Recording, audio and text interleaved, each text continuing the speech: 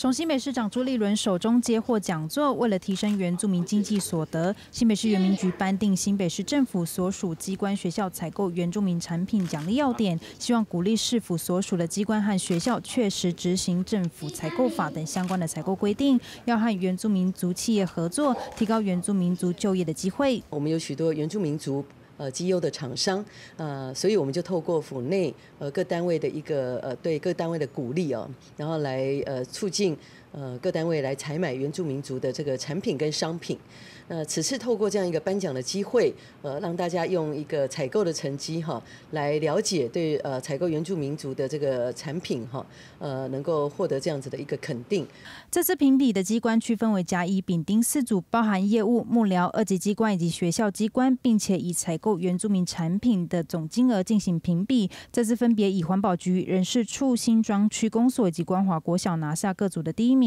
各个机关采购的项目很广，从搬家、清洁、消防、旅游产业都能够和政府机关来合作。像我们一般的学校，他们会采购原住民产品，基本上有说像学校办理所谓的校外教学或是一些旅游活动的话，我们有在新北市也有一些旅行社是由是由原住民来经营的，那他们也是都会来向这些旅行社来洽询，然后委由这些旅行社来办理。其实我们各政府机关部门在采购原住民产品的部分，其实像我们的环保局，它有关本全新北市的一个环境清洁部分，它就可以委托我们新北市的哦所谓的一些合作社，哦原住民的合作社来办理。